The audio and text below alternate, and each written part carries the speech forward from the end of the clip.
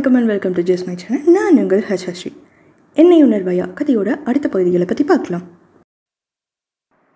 பூஜாவை பார்க்க மாதவன் நூலகத்திற்கு செல்ல அங்கே பின் மைதானத்தில் நாலைந்து சிறுவர்கள் தான் விளையாடிக் கொண்டிருந்தனர். பத்தாவது பன்னிரெண்டாவது படிக்கும் மூன்று மாணவ மாணவியர்கள் மட்டும் அங்கே அமர்ந்து அவர்களை கவனித்துக் கொண்டும் படித்துக் கொண்டும் இருந்தனர். அவர்களிடம் சென்றவன் பூஜா எங்கம்மா? என்று கேட்டான். அக்கா ராகவ் மாமா கூட வெளியில போனாங்க மாமா என்று பதில் கூறினார்கள் அவர்கள். ஓ எப்போ போனாங்க? அது ஒரு ரெண்டு மணி நேரத்துக்கு மேல இருக்குமே.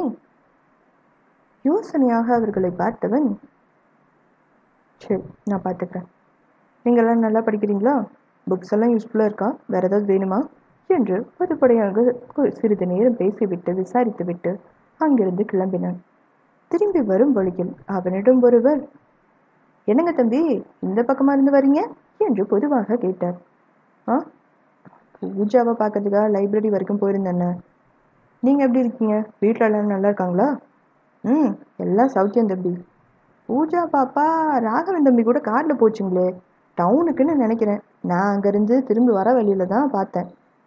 உங்ககிட்ட பாப்பா சொல்லலைங்களா? என்று கேட்டதும் அவரிடம் அவளை விட்டு கொடுக்க மனமின்றி ஆமாங்கண்ணா. அப்போவே ஃபோன் பேசினா எனக்கு வேலை முடிஞ்சதும் நான் லைப்ரரிக்கு வந்து கூட்டிகிட்டு போகிறேன்னு சொல்லியிருந்தேன்னா அதுக்கு தான் இப்போ வந்தேன் ஃபோன் பண்ணாமல் நான் நேராக வந்துட்டேன். பூஜா இன்னும் வரல போல. அப்படியே லைப்ரரியில் பசங்கள்கிட்ட கொஞ்ச நேரம் பேசிட்டு இருந்துட்டு இப்போ தான் கிளம்புறேன். ஒன்றும் பிரச்சனை இல்லைண்ணா.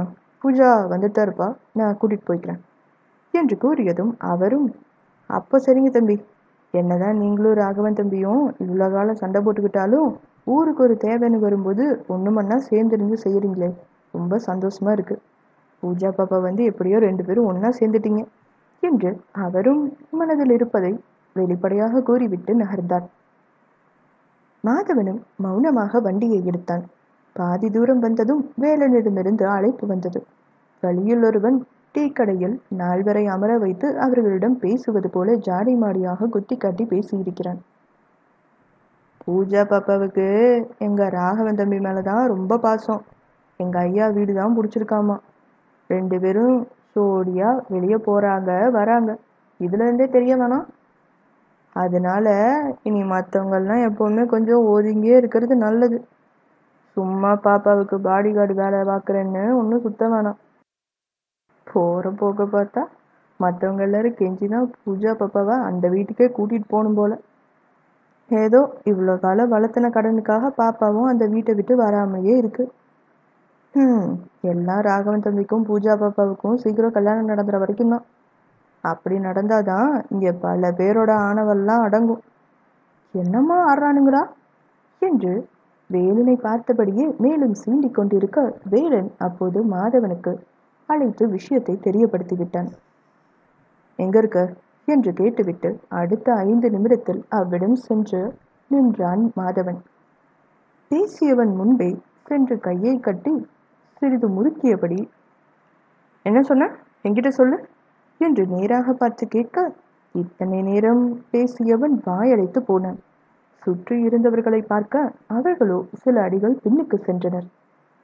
மாதவனும் சர்வசாதாரணமாக மெதுவாக சென்று அண்ணே ஒரு டீ என்று கூறியபடி பெஞ்சில் அமர்ந்தான்.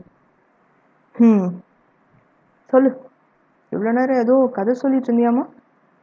நானும் கதை கேட்டு ரொம்ப நாள் ஆச்சு இவனுங்க சொன்ன எல்லாத்தையும் ஒரு வார்த்தை மாறாமல் இப்போ நீ என்கிட்ட சொல்கிற இல்லைன்னா என்ன நடக்கும்னு உனக்கே தெரியும் என்று மாதவன் கூற அந்த நால்வரையும் பார்த்து இவ்வளோ நேரம் கதை கேட்டீங்க தானே? இவன் இப்போ ஏதாவது என்கிட்ட சொல்லும்போது பாதியை சொல்லாமல் விட்டா அதையும் நீங்கள் எனக்கு சொல்லணும். இல்லாட்டி உங்களுக்கும் அதே நிலைமை தான் என்று அவர்களையும் சற்று மிரட்டினான். வேளா இவங்க என்னென்ன பேசுனாங்கன்னு உனக்கு நல்லாவே தெரியும்ல? என்று அவர்களை முறைத்தபடியே கேட்க ம் நல்லாவே தெரியும்ண்ணா. ம் கரெக்டாக சொல்கிறானுங்களான்னு பார்த்துக்கோ இல்லாட்டி என்கிட்ட சொல் என்று கூறியபடி அவன் பொறுமையாக டீ குடிக்க ஆரம்பித்து விட்டான். முதலில் பேசியவனும் இப்போது மௌனமாகவே இருக்க மற்றவர்கள் மாதவனிடம் தயங்கியபடியே ஒவ்வொன்றாக கூறினார்கள்.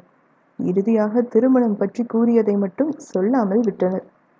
அமைதியாக டீ குடித்துக்கொண்டே கேட்ட மாதவன்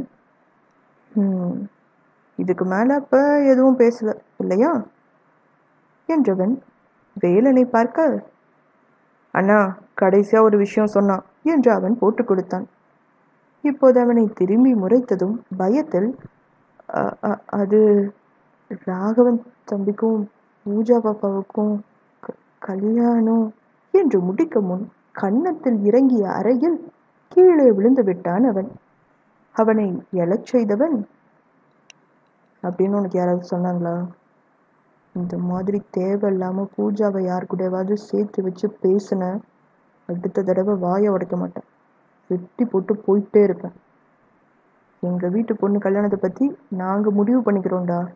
சரியா? இனி நீ வாழை சுருட்டிக்கிட்டு ஒழுங்கா இருக்க. புரிஞ்சுதா? இதை கேட்ட அவர்களுக்குள் இருந்த ஒருவன் அந்த பொண்ணு ராகவன் கூட வண்டியில் போகிறதால தானே அப்படியெல்லாம் சொல்கிறானுங்க அதுக்காக இப்படி அடிப்பீங்க?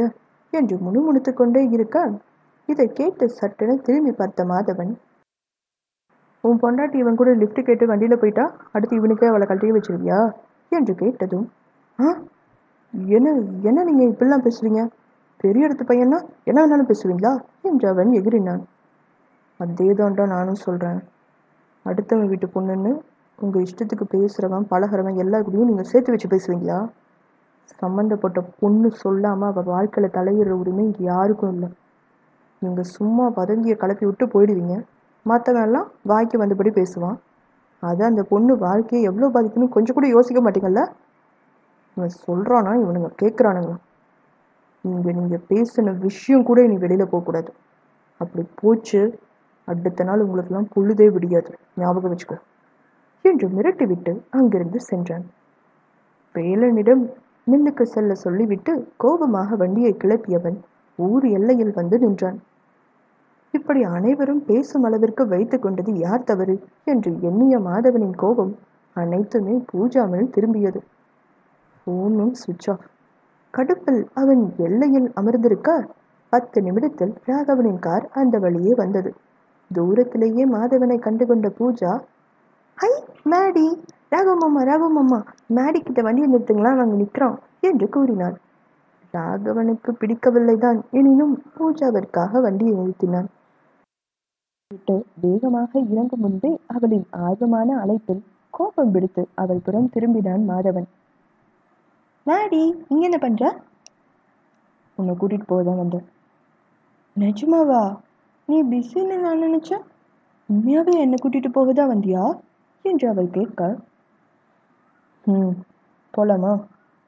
ம் போலாமே என்று அவள் வேகமாக தலையசைத்தாள். பூஜா வீட்டுக்கு வரேன்னு சொன்ன ஷாப்பிங் பேக்கெல்லாம் வேற கார்லயே இருக்கு என்று நினைவூட்டினான் ராகவன். மாதவன் இப்போது அவனை முறைக்க ராகவனும் திருப்பி அவனை முறைத்தான். ஐயோ ஆமால்ல? நீ இவ்வளோ நேரமா லஞ்ச் சாப்பிட வரலன்னு பாட்டி கேட்டுட்டு இருக்காங்க என்று மாதவன் இந்த புறம் பேசினான். அதுவா? ஸ்நாக்ஸ் எல்லாம் காலையில் கொஞ்சம் ஹெவியாக சாப்பிட்டேனா? அதான் மாதிரி பசிக்கவே இல்லை.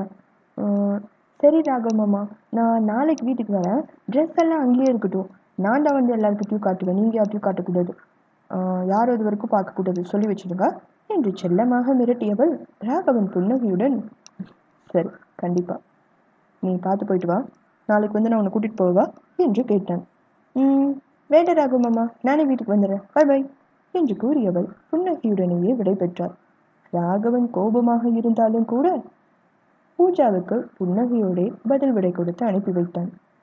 ஆனால் இதை கண்ட மாதவனுக்குத்தான் கோபம் தலைக்கேறியது வண்டியை ஸ்டார்ட் செய்தவன் அவள் வண்டியில் ஏறியதும் விருட்டென கிளப்பினான்.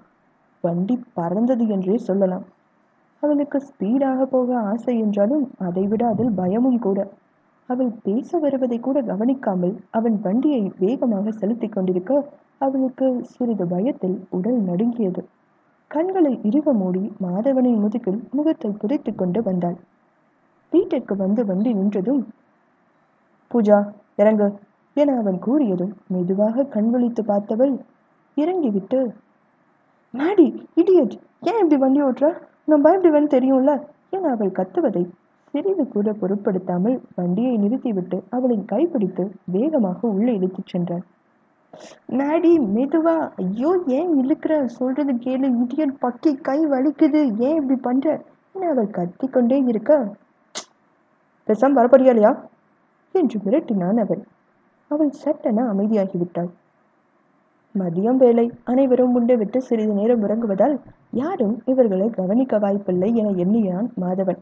ஆனால் இவன் பூஜாவை கோபத்தோடு இழுத்து சென்றதை தாத்தா கவனித்து விட்டார். இருப்பினும் மாதவன் பூஜாவிடம் பேசிவிட்டு வரட்டும்.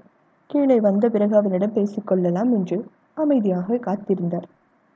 பூஜாவின் அறைக்கு அவளை இழுத்து கொண்டு சென்றவன் எதுக்குடி அவன் கூட வெளியில் போனேன் அவன் ஷாப்பிங் போகலன்னு இப்போ யார் அழுதா உனக்கு? என்று கத்தினான்.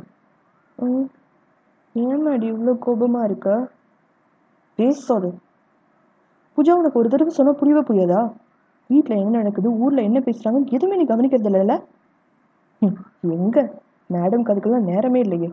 உங்கள் இஷ்டப்படி ஊர் சுற்றுறதுக்கு நேரம் சரியாக இருக்குது இல்லை? என்று அவன் கத்த. சும்மா சும்மா என்ன திட்டாத மாடி. நான் ஒன்றும் ஷாப்பிங்காகலாம் போகல மெடிக்கல் ஷாப் தான் போகணும். அவ்வளோ தூரம் போயிட்டோமேன்னு தான் அப்படியே ட்ரெஸ் வாங்கணும் என்று முகம் சுருக்கி அவர் கூறினார். இது மெடிக்கல் ஷாப்கா உனக்கு ஏதாவது வேணும்னா என்கிட்ட கேட்க வேண்டியது தானே? நான் கூட்டிகிட்டு போவேன்ல. உனக்கு தானே நான் மார்னிங் கால் பண்ணேன். நீ தான் எடுக்கவே இல்லை என்று அவளும் திருப்பி கத்தினாள். இதை கேட்டு அவன் சட்டென அமைதியாகி விட்டான்